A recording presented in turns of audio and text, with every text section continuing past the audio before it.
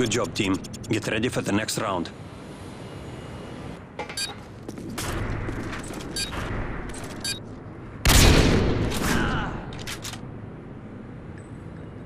Half time.